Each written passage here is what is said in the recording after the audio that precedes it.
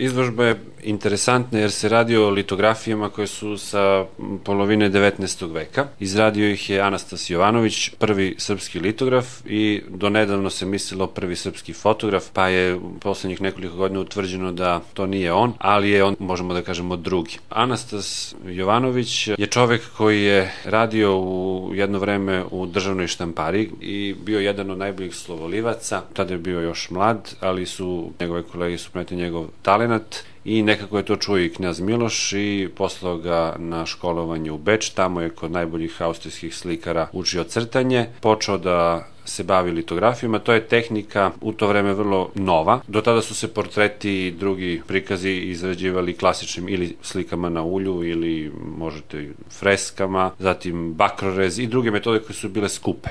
Litografija je pojeftinila taj proces i dala mogućnost da se to umnožava.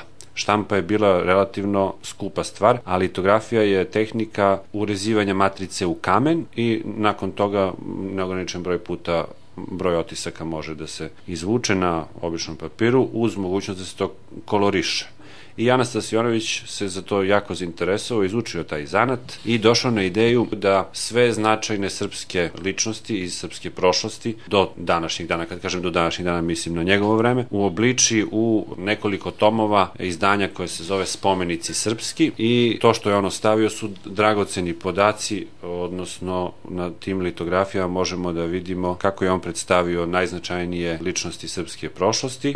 Sve litografije su autentične i originalne originalne. Zbirka je gospodina Srđana Stojančeva, to je predsednik Srpskog bibliofilskog društva iz Beograda. To je znači organizacija mm. koju ne finansira ni država, oni se sami finansiraju, ali u svojim zbirkama imaju izuzetno vredne stvari.